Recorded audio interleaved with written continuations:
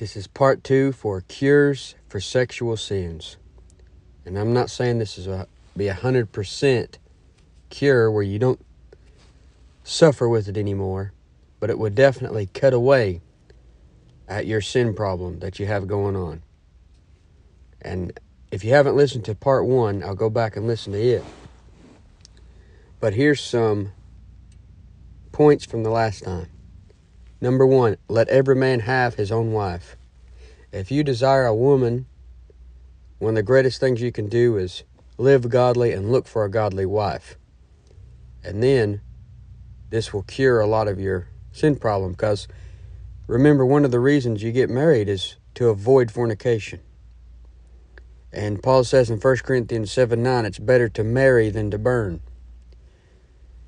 Then, number two, looks can kill, look another way. And you know, Jesus said, Whosoever looks on a woman to lust after her hath committed adultery with her already in his heart. So looks can kill, look somewhere else. The less you look, the less likely you're going to be tempted. Number three, leave the path of evil women. Don't even get around a woman who would even give you the opportunity to commit that sin. Number four, learn to see women as mothers and sisters, or maybe even as daughters or as sister in laws. You know, the more you see them as someone that's important to someone else, if you have any type of heart or conscience, that's going to cut back on the dirty thoughts you would have towards them. The next thing lasciviousness takes everything you have, so give your everything to God. Some people have given themselves over to lasciviousness, as Ephesians 4:19 talks about. Instead of giving yourself over to your horrible fantasies, lustful desires, and the cravings of your flesh, give everything to God. Now we'll start with some new ones. And the next one is lone wolves get lost, get around people. Sometimes you need to get alone to study and pray and read the Word of God, but too much alone time can kill. It can be bad. It can be really bad. Remember, the devil tempted the Lord when he was alone, when he was at a weak moment of fasting for 40 days and 40 nights. Remember in 2 Samuel 11 that David got off into sin when he tarried at Jerusalem and wasn't out there fighting, and he was walking on the roof alone. He had time to watch Bathsheba wash herself in 2 Samuel 11 2. And he didn't just accidentally get a peek he had time and opportunity to feast his eyes on another man's wife. See, most likely you commit your sexual sin with another person when both of you are alone. Or you're committing your own sexual sin when you're all by yourself. The best thing to do is stay around people as much as you can. Don't get alone with another person that you might commit that act with, and don't spend too much time by yourself where you might look at something or do something that you're not supposed to. You know, a lot of men they have this problem where they want to stay up all night playing video games, stay up all night watching movies while their wife goes to bed, their kids go to bed. That's kind of a bad idea, really. You should if you can go to bed when your wife goes to bed. Go to bed when your family goes to bed that way you're not up all night while everyone's asleep with all these thoughts coming in from the devil. This will help your marriage and it will help you cut back on your sin. And I know people work different shifts. Sometimes you can't go to bed when your wife goes to bed. But if it be possible, you should go to bed when your wife goes to bed. Go to bed early, get up early. Lone wolves get lost. You need to get around your wife, you need to get around someone else. Accountability is a key thing. Number two, labor with your hands, and you'll be too tired to get into mischief. So you get around other people, don't be a lone wolf, and you labor with your hands, you mix both of those things together.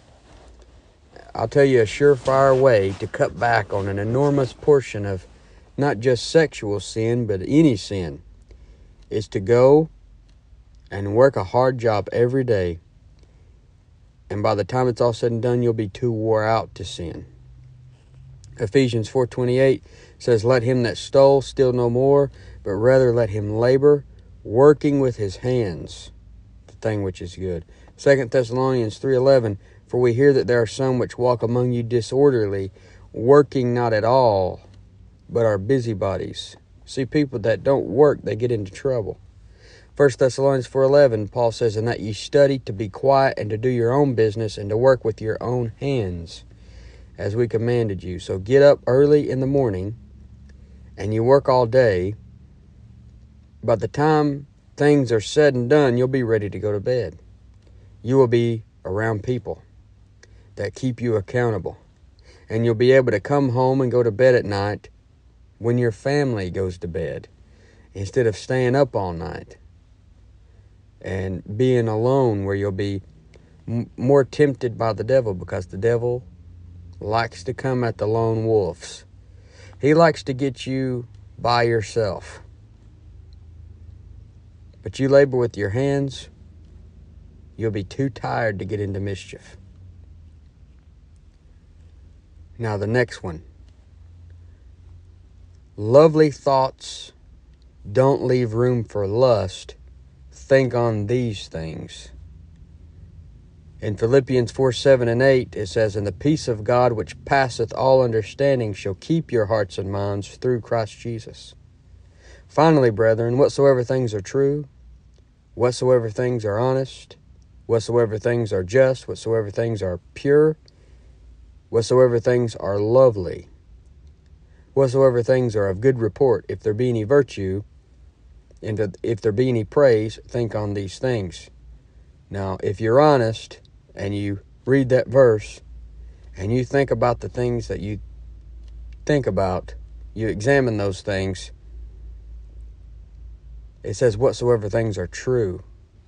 Those fantasies you're having in your head, that's not true. That's all something that's never even going to happen you're thinking about something that's completely false, probably has never happened, never will happen. So it's not true. Whatsoever things are honest, it's certainly not honest, those things that you're thinking about. Whatsoever things are just, it's definitely not that. Whatsoever things are pure, it's the those sexual sin thoughts you're thinking about are the opposite of pure. Whatsoever things are lovely, not that either. Whatsoever things are of good report, if there be any virtue, if there be any praise, think on these things. So those thoughts you're happen, having that's leading you to these sexual sins, it doesn't match with this verse. Most likely, if you're struggling with adultery, your thought life killed you long ago. I'm talking about when you were a young teenager. If you're struggling with adultery, I guarantee you were struggling with these thoughts early on. And you didn't just go to bed with another woman you weren't married to, it started with a look. You committed the adultery in the heart first, and then you acted on the thoughts of your heart.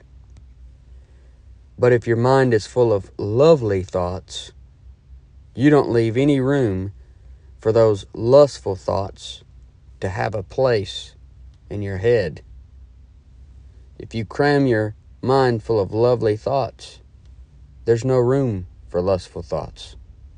Now, the devil's going to try to come and take something from your past and put that thought in your head. Uh, the unclean spirits can put thoughts in your head. Paul said, neither give place to the devil. You got to try your best to lock the door of your mind, bolt it up, full of lovely thoughts, and don't give place to the devil in there. Don't give him a seat. Yeah, Ephesians 4:27 says neither give place to the devil. And if you've been struggling with sexual sin for a long time, you've been looking at things that you shouldn't, your mind is all messed up. And here's a good verse for that. Paul says in Romans 12:2, "And be not conformed to this world, but be ye transformed by the renewing of your mind, that ye may prove what is that good and acceptable and perfect will of God. So you got to renew your mind. You got to transform your mind. And the only person that can do that is God through His Word. The only person that can do that is God taking that filthy mind of yours and, and washing it.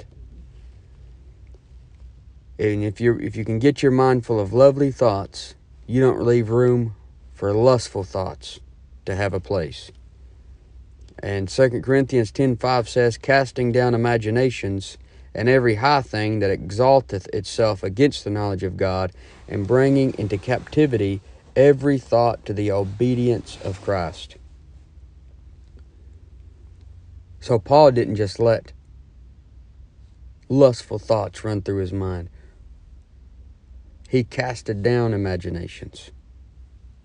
He casted down every high thing that exalteth itself against the knowledge of God. You know, those lustful thoughts, they come into your mind, they don't have no respect for God's highness. You have to bring into captivity every thought. You don't you, you shouldn't let any thought hang around in your head that isn't obedient to the Lord Jesus Christ. You need to have lovely thoughts. Lovely thoughts redeem the time. You know, Paul over and over talks about redeeming the time because the days are evil. Here's some example of lovely thoughts. Meditating on scripture, that's lovely thoughts. If you have a problem with your thought life, and I told you this before. Get you some index cards, write scripture on them, and throughout the day, pull those scriptures out of your pocket and memorize it. Meditate on those scriptures. It occupies your thoughts. You're giving room to lovely thoughts in your mind instead of dirty thoughts. Meditating on scripture is lovely thoughts. Thinking about eternity with the Lord thinking about heaven, thinking about New Jerusalem, the millennium. Those are lovely thoughts. Setting your affection on things above. If you got your affection set on things above, you're thinking about lovely thoughts. Thinking about the Lord and conversations with the Lord, that's lovely thoughts. And you can't go wrong with those. So, lovely thoughts don't leave room for lust. Think on the, these things. So you need to get away from anything that's going to cause you to have dirty thoughts and start cramming your mind full of lovely thoughts. Okay, the next thing lean on the scripture. You're going to have to learn to lean on the scripture because, like I just said, it goes along with be not conformed to this world, but be ye transformed by the renewing of your mind. The only way you're going to do that is to let the scripture wash your mind. Because your mind is so fogged up and clouded from all those things that you've been doing over the years. It's like you need the Lord to just take the scripture and scr- and scrub your brain with it. And in Psalm 119 and verse 9, it says, Wherewithal shall a young man cleanse his way? By taking heed thereto according to thy word. You need your brain washed. You've been brainwashed by the world. You've been brainwashed by TV, entertainment, all that stuff you've been looking at. Now you get you need to get brainwashed by the word of God. Wherewithal shall the young man cleanse his way by taking heed thereto according to thy word. You see, all that stuff you've been watching has made you desensitized to certain things. You don't even see how bad your sin is. But when you open the scriptures and you let them begin to transform your mind, you start seeing sin for how bad it really is. Romans 7:13 it says, Was then that which is good made death unto me? God forbid, but sin, that it might appear sin, working death in me by that which is good, that sin by the commandment might become exceeding sinful. So sin by the commandment becomes exceeding sinful. When you look at the scriptures and you see the commandments of God, it makes your sin finally look sinful and not just look sinful, it's going to be exceeding sinful. You know, some people don't see things like they're as bad as they really are, but you get next to somebody who's in the scriptures, separated from the world, not conformed to the world, and they see things as exceeding sinful. You're going to have to lean on the scriptures to transform your mind And what does the Lord Jesus want to do for us? Ephesians 5 25. He says, Husbands, love your wives, even as Christ also loved the church and gave himself for it, that he might sanctify and cleanse it with the washing of water by the word. He wants to cleanse you with the washing of water by the word. So you have to lean on Scripture to get rid of those dirty thoughts. And if you don't lean on the Scripture, you're never going to be able to think on those lovely thoughts of Philippians 4 8. So lean on the Scriptures. You know, when you get up, if you can, instead of turning the TV on, instead of looking on your phone, scrolling through TikTok for 15 minutes, get out the Word of God. Just quit being lazy. Even if you don't want to, just get it out and read a few chapters. You lean on the scriptures. Then on your first break, instead of sitting there eating and dedicating the whole time to eating, get the Word of God out and read it, or have it laid out and read it as you're eating. You know, that's a lot of wasted time. Then on lunch, do the same thing. On your next break, do the same thing. And then you could even get it on audio. Listen to the Word of God on audio. You got to lean on the Scriptures. What did the Lord do in Matthew chapter 4 when the devil was tempting him? He kept saying, It is written. It is written. It is written. Over and over. The devil would tempt him and, and he would just come back with another scripture. And then you think about Michael the archangel when contending with the devil and they disputed about the body of Moses. It says he, he didn't bring against him a railing accusation, but said, The Lord rebuke thee. How do you get the Lord to rebuke the devil? Well, when the devil tempts you to do something, you say a verse out of your mouth that goes along with what he's trying to tempt you to do, and that's rebuking the devil. For example, he's telling you to look at this woman and lust after her. You just quote the Lord Jesus and say, If a man look on a woman and lust after her, he's committed adultery with her already in his heart. That is the Lord rebuking the devil. It's not you rebuking him, it's you're saying the scriptures where the Lord can rebuke him. So you see, you get those scriptures in you and it's going to cut out a lot of your sin problem. So lean on the scripture.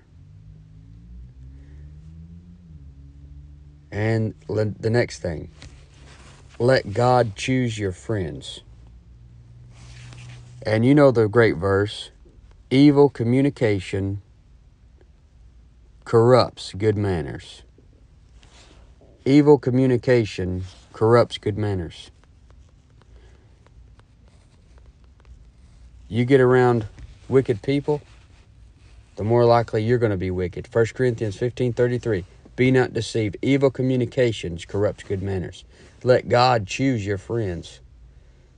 If you're hanging around friends that are encourage, they're going to keep encouraging you to keep up with the sinful behavior because they're doing it themselves. They're just going to leave you further and further astray. Let God choose your friends. You know, you don't want to be a lone wolf, but it would almost be better to be a lone wolf than to get around people that are struggling with the same things you are. You need to get around people that's a little bit far, farther along than you are.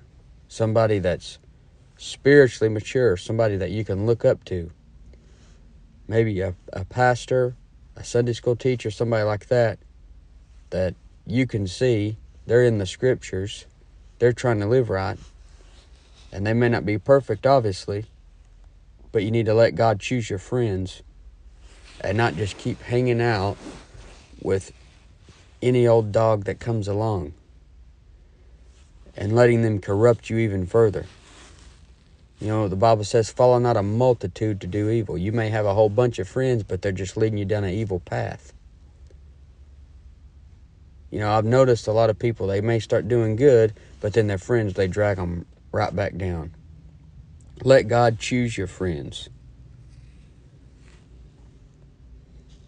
So if you lean on the scripture, let God choose your friends, get around people because lone wolves get lost, labor with your hands, and you'll be too tired to get into mischief.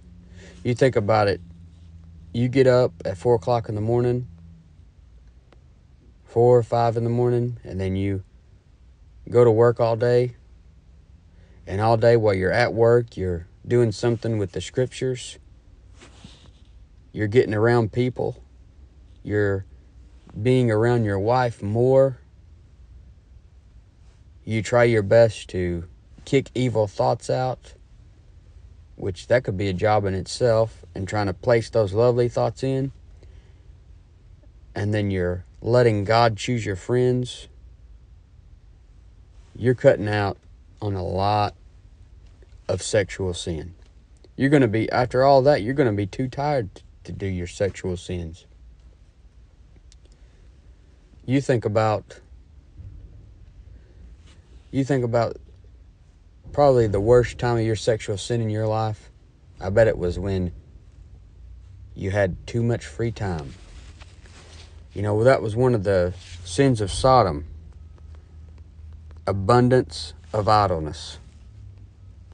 They had so much free time, they were able to get into all that all that sin. Ezekiel 16:49. It said, "Behold, this was the iniquity of thy sister Sodom: pride, fullness of bread, and abundance of idleness.